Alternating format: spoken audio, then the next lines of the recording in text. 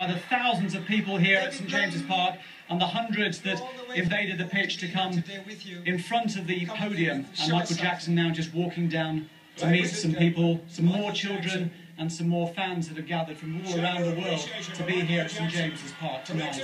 The excitement doesn't end here. David Blaine will be doing an illusion or two in a few moments' time. Patti Boulaye singing later, and we'll reflect that in our late news and our bulletins throughout the weekend. But it's been an absolutely tremendous day, not only for Exeter City, but the whole of the West Country. And Michael Jackson has, as you can hear, won over the people of this part of the world. From all of us on West Country Live, a very good night to you. Bye-bye.